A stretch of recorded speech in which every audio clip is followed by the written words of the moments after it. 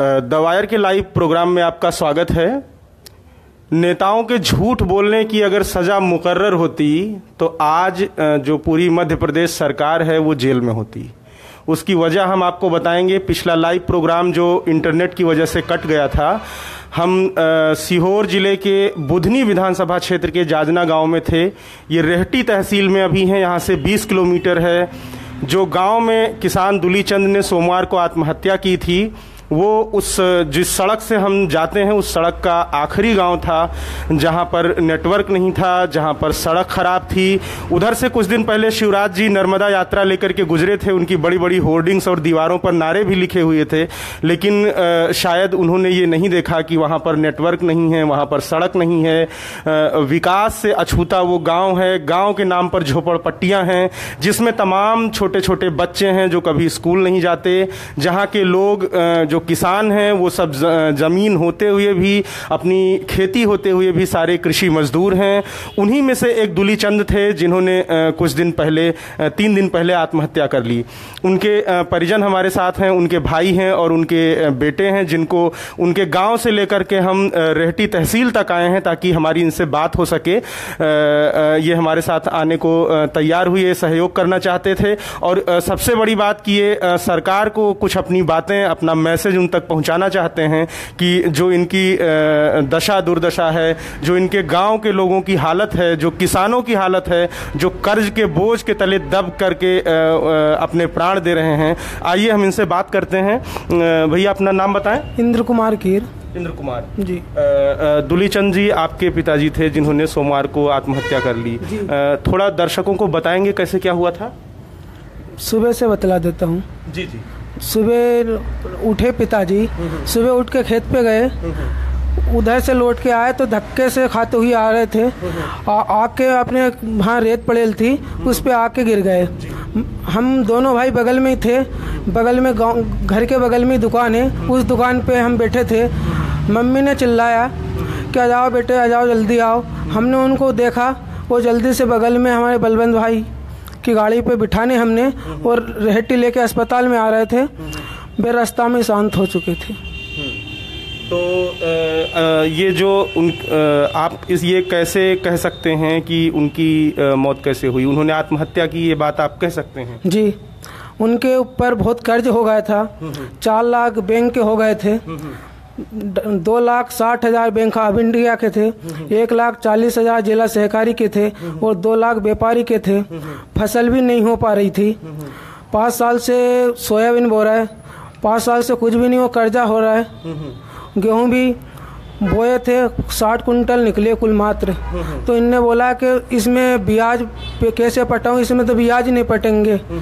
व्याप- व्यापारी का कर्ज था। उनके लिए ने बहुत टेंशन में थे। चार पाँच पाँच छः रोज से ये बोल रहे थे वे कि मैं इतना कर्जा होगा मैं कहाँ से पटाऊँगा? हम भी मजदूरी मेहनत करते हैं। उसमें तो खेती में तो कुछ भी नहीं होता है। दो तीन भाई मजदूरी मेहनत कर जाते हैं पढ़ाई मढ़ाई सब छोड़ दी है। पैसे ही नहीं है तो। आपने कितनी पढ़ाई की है? मैंने सातवीं तक की है। सातवीं तक? जी। उसके बाद पढ़ाई नहीं पढ़ाई नहीं की। आपकी उम्र कितनी है? बाईस साल। बाईस साल। अ, परिवार में आपके कौन कौन है? परिवार में मेरे से बड़ा भाई है छोटा भाई है उससे सबसे छोटी बहन है बड़े भाई की एक की शादी हो गई है उनके तीन लड़का लड़की है दो लड़की एक लड़का है एक मम्मी जी है। हम्म। तो आप सभी लोग काम क्या करते हैं? मजदूरी करते हैं। सभी तीनों भाई? जी। अ, अ, खेत आपके पास कितना है? नौ एकड़ उन्नीस डेसिमल। नौ एकड़ खेत है। जी। खेत से आपके जीविका चलाने भर का? नहीं नहीं सर उसमें खेत हमारे ऐसे थे ऊँचे नीचे बे पिलोटा टाइप है उसमें पानी भी नहीं मिलते है पानी मिलते तो तुरंत सूख जाता है। और इतनी बिजली भी नहीं मिलती, हम तुरंत उसको पानी दे पाएँगे। बिजली वहाँ पे दस घंटे मिलती है तो दस घंटे में से ये रिकॉर्ड है दस घंटे का तो बिजली चार या पाँच घंटे मिलती है। कभी इधर से फाल्ट हो जाती है दो दो दिन लाइट भी नहीं जुड़ती है। इस साल हमने मूंग बोए थे, साठ किलो, एक कुंटल मूंग निकली। इसका भी टेंशन था कि उनने बोला था कि मैं ये मूंग का कर्ज पटाऊँगा, कि हाईवेस्ट वाले को दूँगा, दवाई वाले को दूँगा, मैं क्या क्या का पैसे दूँगा। जो साठ किलो मूंग बोई थी जी। कुल उपज हुई एक कुंटल जी। मतलब जो आपका जमा था उसमें आपको हासिल हुआ चालीस किलो। जी। जी। चालीस किलो हासिल हुआ साठ किलो मूंग बोई थी एक कुंटल मूंग निकली। तो आप जो तीनों भाई मजदूरी का काम करते हैं जी। वो मजदूरी खेतों में काम करते हैं हैं या कोई भी काम? जो काम भी मिल जाता है खेत का काम मिल जाता है या किसी भी काम बतलाते थे बत, हम वो काम पे चल जाते हैं। और बाकी परिवार के लोग आपकी माता जी आपकी आपकी बहन? बहन भी जाती है माता जी भी जाती है। सभी घर भर के जाते हैं हम तो काम पे। हम्म, अच्छा चाचा आप बताएँ आपके भाई थे वो? जी। क्या नाम है आपका? फूलचंद। फूलचंद। जी। बड़े भाई थे छोटे? बड़े हैं वे। आपके बड़े भाई थे। जी। ये जो नेता हैं भाजपा के कैलाश विजय वर्गीय इन्होंने कहा कि ये कर्ज वाली बात झूठी है ऐसा सही है क्या? सही। वो कह रहे थे कि नहीं ये कर्ज से किसानों ने आत्महत्या नहीं की है। नहीं सर वो तो मतलब झूठ है वो तो। झूठ है मतलब मतलब कर्जा मतलब जो है तो जब ही तो किसान मरता है। जब ही तो किसान मरे नहीं तो उसी वजह से मरने को कहीं को तैयार है। हम्म, हैं? कर्जा नहीं है। हम्म, हम्म। तो म, क्यों मरेगा किसान? अच्छा आप दोनों भाइयों का परिवार अलग अलग है? अलग अलग जी। आप पे भी कर्जा है? हाँ हम पे भी कर्जा है। कितना? सोलह लाख का। सोलह लाख? जी। अ, किस लिए लिया था ये कर्ज? ये सर ये मतलब का है कि हम्म, बेका बेंडिया का है कहीं अपना जिला सरकारी का है। हम्म, हम्म। और कुछ मतलब कुछ ट्रैक्टर वैक्टर लिया उसका भी कर्जा है मतलब मतलब चल रहा है वो। ये सोलह लाख का कर्ज कितने सालों में चढ़ा आपके ऊपर? ये मतलब आठ एक साल हो गए हैं। आठ एक साल में। जी। कितना लिया था? हमने लिए थे बेका बेंडिया में तीन तीन लाख। हम्म, और दो लाख अपना ये सोसाइटी बैंक का है। हाँ, हाँ, और ये मतलब ग्यारह मतलब बारह लाख का ट्रैक्टर था। हम्म, हम्म, तो मतलब किस्त से मतलब ब्याज ब्याज बन के मतलब बारह लाख में पड़ा हमको। हम्म, हम्म। तो वो सारा मिला करके सोलह लाख। जी। तो आठ साल में आपने कुछ चुकाया या नहीं हाँ। चुकाया भी कुछ चुका भी रही है धीरे धीरे मतलब कर्जा कम भी कर रहा है। हम्म, हम्म, हो जा ठीक है भाई। हम्म, जब तक छोटे छोटे होशियार होते हैं मैंने शादीशुदा हो जाए जब तक मतलब कर्जा पड़ जाए तो ठीक है। हम्म, हम्म, हम्म। नहीं तो वो तो अब ज़मीन तो बिकना ही है। अच्छा गाँव के सारे किसानों की यही हालत है? जी। सारे पूरे जितने भी किसान है उतनी मतलब यही हालत है। अच्छा आपकी उम्र कितनी है? मेरी ये पैंतालीस साल। पैंतालीस साल। जी। आप बचपन में थे तभी किसानों पर कर्ज होता था कि ये पिछले कुछ सालों से शुरू वो हुआ? तो अब बचपन क्या थोड़ा उसार हुआ जब से ही मतलब कर्ज मतलब वो तो होता जा रहा हाँ, है हाँ। और बचपन क्या वो तो कुआ भी खुदवाया तो वे भी मतलब बैंक से खुदवाया हम्म, तो उसका भी कर्जा था बे पटाया। हम्म, मोटर ली उसका भी कर्जा था वो पटाया। हम्म। बिजली का बिल का है। हाँ, मेरे बिजली का बिल का मतलब कम से कम दस बारह हज़ार रुपया है। वो भी देना है। हाँ। मतलब सभी कर्जे है सर अच्छा आप कितनी खेती पर अपना खेती मतलब करते हैं? कितने बीघे खेती है? वो उतनी है नौ एकड़। नौ एकड़। जी। तो आपका भी परिवार नहीं चल पाता है खेती से? परिवार क्या है वो ट्रैक्टर से ही मतलब बोनी बखनी करते हैं। तो कुछ मिल जाता है तो उसे ही तो थोड़ा धक्का देते हैं हम कर्जे और मतलब अपना हम्म, हम्म। धंधा पानी करते हैं और धकाते हैं अपन। अच्छा खेती के अलावा भी कुछ करते हैं? हाँ सब मतलब ये ट्रैक्टर मेक्टर चलाते हैं मतलब किराया से। हाँ, हाँ, हाँ। ट्रैक्टर किराए पर चलाते हैं? जी। अच्छा। उस पर मतलब कुछ मिल जाए अपन का तो अपना घर का धंधा चल जाते हैं और क्या है? हम्म। मैं तो और कुछ नहीं। अच्छा ये जो छह लाख कर्ज था आपके पिताजी के ऊपर तो इस छह लाख में से कुछ आप चुकाते भी थे अ, साल में फ़सल वसल बेच के मजदूरी करके या जब से कर्ज लिया है तब से बना हुआ था? ये ब्याज ब्याज चुकाते थे ये इतना तो फ़सल ही नहीं होती थी। ब्याज ब्याज चुका देते थे। अभी एक दो साल से तो ब्याज भी नहीं चुक रहा है। सालाना कितना पैसा आप मतलब पिछले साल में आपको ध्यान है कि पिछले साल या उसके पिछले साल कितना पैसा चुकाया? दो साल से तो कुछ चुकाया नहीं। कोई कि, किश्त दी होगी वो याद है? जी जी। कितना? सोलह हज़ार दी थी बैंक ऑफ़ इंडिया में। अच्छा। जी जी। और साहूकार को? साहूकार को उनको दिए थे चालीस एक हज़ार के लगभग। हाँ हाँ। बस इतना कमाए थे मजदूरी में वो फ़सल में। हाँ बस इतने दिए थे। अब उनको तीन साल हो गए चार साल। उनको व्यापारी से लिया है तो बस उनको ब्याज देते ये बोल रहा है हमारा पूरे पैसे दो. व्यापारी बोल रहा है? जी। अच्छा जिसे आप नहीं दे पा रहे थे। जी। तो अ, क्या आपके घर पे जो आपके दूसरे भाई हैं वो बता रहे थे कि साहूकार और बैंक के लोग दबाव डाल रहे थे कि कर्जा दो? जी। ये साहूकार ये कर्जा डाल रहे थे। ये बैंक वाले थे ये उतने वो नहीं कर रहे थे। फिर ये भी बोलते थे फिर ये साहूकार तो बहुत ज़्यादा वो कर रहे थे। क्योंकि हमारे पैसे दो, हमारे पैसे लौटा दो। हमारे पास कुछ व्यवस्था ही नहीं है, हम क्या में लौटाएँ? अच्छा ये बताइए चाचा, कि जैसे किसानों के पास देने के लिए उनके पास कुछ है नहीं, फ़सल मार जाती है और इतनी आमदनी नहीं है तो ये किसानों को कर्ज देने की बात ये कैसे, कौन कहता है कि कर्ज ले लीजिए? कर्ज क्यों लेते हैं किसान? अरे वो तो कर्ज क्या सर वो तो कर्ज लेना भी पड़ता है कर्ज क्यों नहीं लेमा? कर्ज ले, नहीं लेमा तो परिवार ही नहीं चलता है हमारा। तो खेती के अलावा परिवार चलाने के लिए भी कर्ज लेना पड़ता है? वो तो लेना पड़ता है।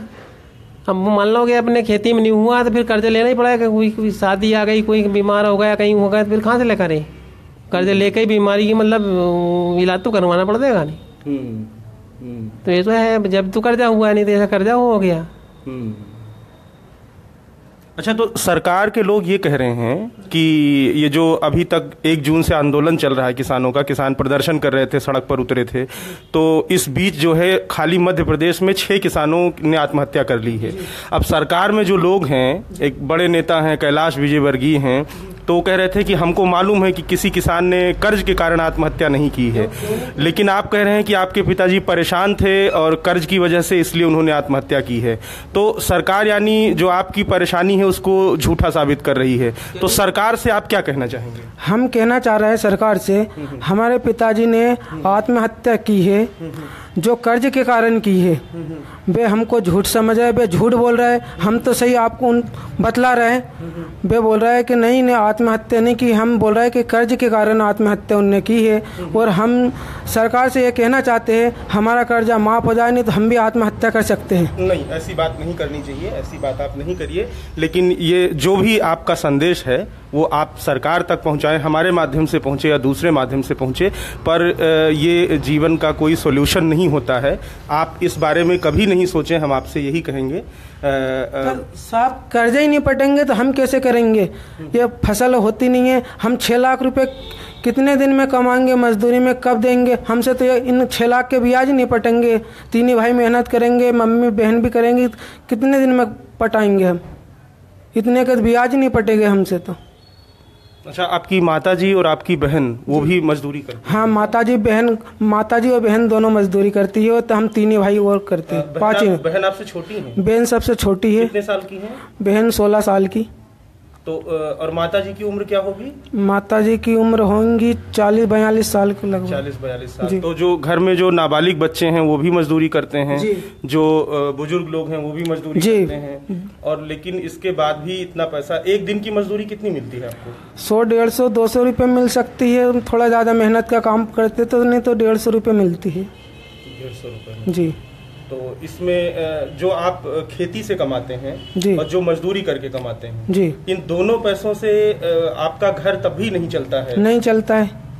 और आपके घर में जो छोटे बच्चे हैं वो पढ़ने लिखने भी नहीं जाते हैं न, नहीं जाते ना सर। पैसे उतने है ही नहीं तो हम पहुँचाएँ कैसे? हम्म। पैसे की व्यवस्था ही नहीं हो पाती है। आपके गाँव में स्कूल है सरकारी? सरकारी है पाँचवीं तक। पांचवी तक? जी।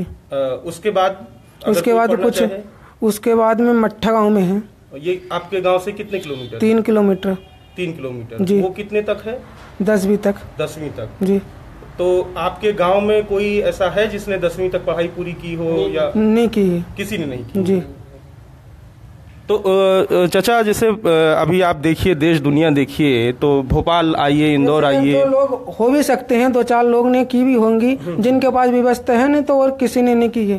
हम्म। तो इतना ज़माना आगे चला गया है लोग पढ़ाई लिखाई के बगैर लेकिन जिस गाँव में स्कूल नहीं है जिसमें कोई संसाधन नहीं है तो उस गाँव के जो छोटे छोटे अभी बच्चे हैं आप लोगों के बच्चे हैं इनके बच्चे हैं तो जो नई पीढ़ी आएगी वो कैसे रहेगी? उसका वो तो उसकी वही चलेगी और क्या जो चल रही है अभी फ़िलहाल में वही चलना है। वो किसान तो पढ़ा नहीं सकते लड़के लड़के को। हम्म, किसान मतलब किसानी करेगा कि उतने पैसे नहीं बचेगा कि अपन मतलब सिटी में पढ़ सकते हैं उनको लड़का लड़की को। हम्म, नहीं पढ़ा पाएँगे हम तो किसान तो नहीं पढ़ा पढ़ा पाएँगे। वही हमारे दो लड़का है एक में पाँचवीं में घर बैठा है एक आठवीं में घर सातवीं में घर बैठा है। एक लड़की है हम्म, वो मतलब पाँचवीं तक पढ़े ले वो भी घर बैठी है। हम मतलब पैसा ही नहीं है तब कहाँ पढ़ाया हमें? शेयर सिस्टम कितनी पढ़ाना है कि हम मतलब पैसा ही नहीं है तो पढ़ाने घर बैठाए बिठा लिया तीनों को घर बिठा लिया अच्छा जो आपका गाँव है जाजना। जाजना गाँव में जो 25-30 घर होंगे उनकी ये हालत है कि वो वही की वही हालियत है सभी लोग कर्ज में हैं सब कर- किसी सब- के बच्चे पढ़ने नहीं जाते। हाँ सभी वही तो। अच्छा जो आस पास के गाँव हैं जहाँ आप काम करने जाते हैं वहाँ भी ये हालत है? जी। सभी सभी की। अच्छा ये शिवराज जी का ये उनका क्षेत्र है यहीं से वो विधायक हैं और मुख्यमंत्री हैं। तो कभी इस तरह की बात नहीं होती कि वो लोगों के लिए स्कूल खुलवाएँ लोगों के लिए व्यवस्था कराएँ या आकर के कभी किसानों से कहें कि आप लोग आत्महत्या नहीं करिए हम आपके लिए कुछ करेंगे। कभी ऐसा होता सर जी कभी नहीं बोले उनने आके से। हमारे गाँव में आपने देख के आए रोड भी नहीं है बरसात में भी खपना पड़ता है। अच्छा अभी जब नर्मदा यात्रा निकली थी पूरी सरकार निकली थी प्रदेश भर में कि हम नर्मदा बचाएँगे तो आपके गाँव से होकर के वो गुजरे थे हमने देखा कि वो नई सड़क खुदवा के पटाई गई है जो बरसात में जिसमें कमर तक जिसमें गड्ढा हो गया है जिसमें पानी भरा हुआ है। तो जब शिवराज जी आए थे तो उन्होंने गाँव की हालत नहीं देखी वो तो दूर से दिखती है। देखी थी? हाँ। देखी फिर उन्होंने कुछ भी नहीं बोले निकल गए जराक हमने रोका था उनको। जराक हमारे जोशी बाबा के वहाँ पे उनने देख के चले गए हमसे बोला कि मैं करवाऊँगा या रोड भी बनवाऊँगा। आपने बोला था? नहीं सब गाँव वाले ने हमने भी बोला था कि ये रोड भी बनवाऊँगा सबको मैं जुग्गी भी दिलवाऊँगा। फिर अब तक कुछ सुनवाई भी नहीं हो रही है।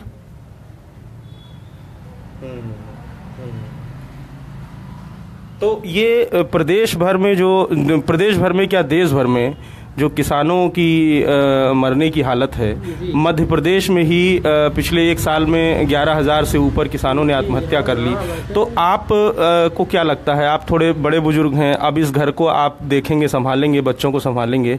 ये किसानों की हालत ये ऐसे ही चलती रहेगी क्या आपको लगता है? हाँ बस वो तो यही चलना ही है। नहीं है तो कोई समस्या नहीं है तो वो तो यही समस्या चलना ही है। अब मतलब ये मतलब नहीं कहीं व्यवस्था नहीं हुई तो वो तो मरना ही है और जो जो होना है वो तो चले रहा अच्छा है इस हालत में आप सरकार से शिवराज जी से या प्रधानमंत्री जी से क्या कहना चाहते हैं? कुछ संदेश है आपके पास?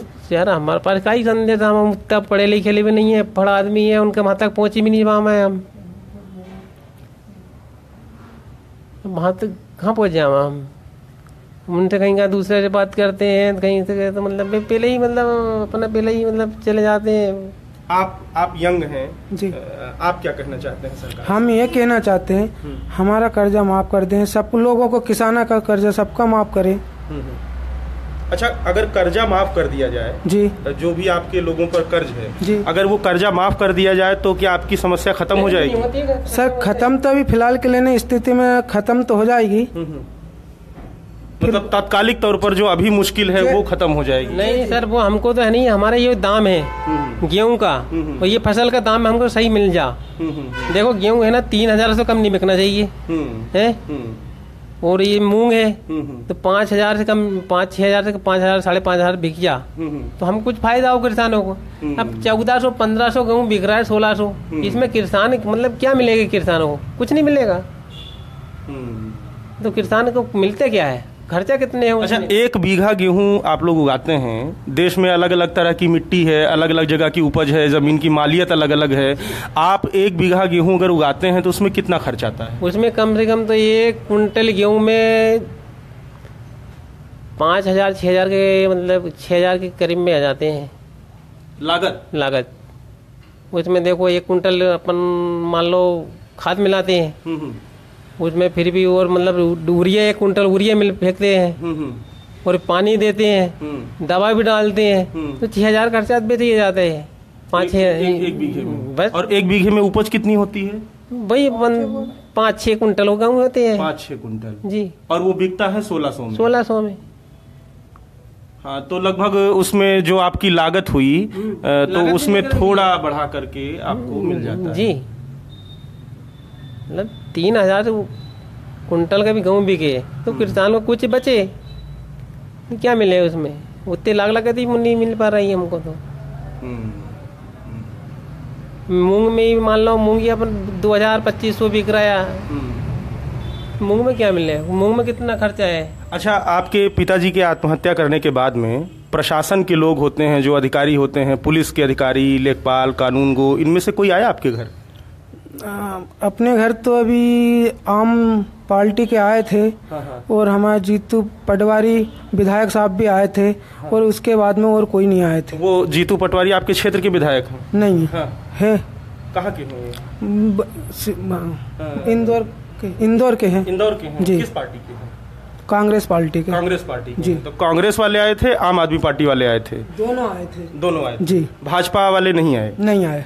और प्रशासन से भी कोई नहीं आया? प्रशासन से भी कोई नहीं आया। तो प्रशासन से अच्छा जो लोग आत्महत्या करते हैं उनको सरकार कुछ मुआवजा देती है। तो इस मुआवजे के बारे में कोई बात की आप आपसे किसी ने? किसी ने भी कोई भी बात नहीं की हमसे। हम तो बहुत गंभीर स्थिति में चल रहे हैं। हमारे पास अभी फ़िलहाल में दो रुपए भी नहीं है।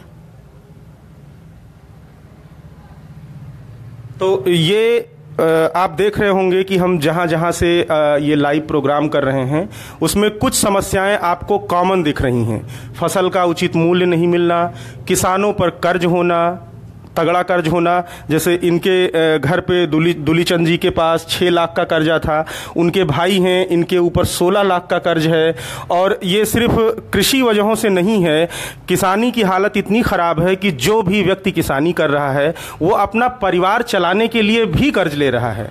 और सरकारें या जो सरकार के लोग हैं, वो झूठ बोलते हैं पब्लिक से कि किसानों को कोई समस्या नहीं है, वो निजी कारणों से, निजी कारण ये भी हो सकता है कि जो व्यक्ति का परिवार नहीं चलता है, वो उसके चलते भी आत्महत्या कर सकता है, लेकिन निर्भर वो कृषि पर है।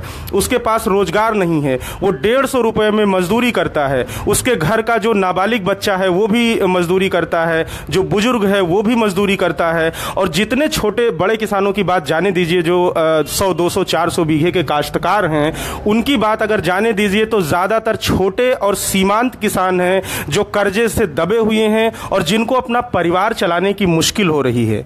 ऐसे में अगर बैंक से और साहूकारों से उनके ऊपर दबाव पड़ता है कि वे कर्जा वापस करें, वे उनके पैसे वापस करें तो इसके, इस परेशानी के चलते ये अतिवादी कदम शायद उनको उठाना पड़ता है कि वे आत्महत्या करते हैं। और जब अभी आंदोलन चल रहा है तो आपको हम बता दें कि सिर्फ़ मध्य प्रदेश में छह किसानों ने जितनी हमें सूचना है कि छह किसानों ने आत्महत्या की है। पिछले नौ सालों में, नौ सालों से तीन बार के मुख्यमंत्री शिवराज जी हैं, जहाँ भाजपा की सरकार है। पिछले नौ सालों में अकेले मध्य प्रदेश में ग्यारह हज़ार से ज़्यादा किसानों ने आत्महत्या की है और करीब करीब सबकी हालत इसी परिवार जैसी रही है या रहने वाली है। बहुत सारे किसान अभी भी ऐसे हैं जो आत्महत्याएँ कर रहे हैं और सबसे हैरानी की बात यह है कि उन परिवारों के लिए कर्ज में दबे किसानों के लिए कोई राहत के शब्द, कोई सांत्वना के शब्द किसी तरफ़ से सुनाई नहीं दे रहे हैं। कम से कम सरकार इतना कर सकती है कि इन इस जनता से वो ये कह दे कि आप लोग आपकी जान कीमती है, आप लोग देश के लिए अन्न उगाते हैं, सबका पेट भरते हैं, आप अपनी जान नहीं दें, हम आपके लिए कुछ करेंगे। इतना कह देने में किसी सरकार का कोई कुछ नहीं जाता है। करोड़ों के घोटाले, करोड़ों के गबन, ये सारी जगहों पे हो रहे हैं, ये भोपाल में भी हो रहे हैं, ये दिल्ली में भी हो रहे हैं। अभी शिवराज जी ने जो यात्रा की थी, अगर हमारी रिपोर्ट आपने पढ़ी होगी तो स्वच्छता अभियान जो ज़ोर शोर से दिल्ली से चला था, जिसको पूरे देश में सफ़ाई करनी थी, उस अभियान का पैसा लगा करके लोगों में वो पैसा बांट करके सभा बुलाई गई थी, और वो पैसा कई कई करोड़ का था, अरबों की वो संपत्ति थी। अगर वो बर्बादी जिन पैसों की हुई है, कार्यक्रम में और रोड शो में, वो पैसा अगर इन किसानों पर लगाया जाए तो जो किसानों ने इस देश को आत्मनिर्भर बनाया था, ग्रीन रिवॉल्यूशन लाके, वही किसान इस देश को अपनी किसानी से और और ज़्यादा अमीर बना सकते हैं। और वही किसान इस देश की अर्थव्यवस्था की रीढ़ हैं, जैसा कि कुछ युवा किसान कह रहे थे मंदसौर में कि अगर हमारी बात नहीं सुनी जाएगी तो हम किसी दूसरे के लिए अनाज उगाना बंद कर देंगे। हम सिर्फ़ अपने लिए अनाज उगाएँगे। ऐसी कोई स्थिति आएगी तो सोचने वालों को ये सोचना चाहिए कि वो कैसी स्थिति उत्पन्न होगी। इसी के साथ आज के लिए बस इतना ही। धन्यवाद। मिलेंगे किसी अगले पड़ाव पर। Şükriye.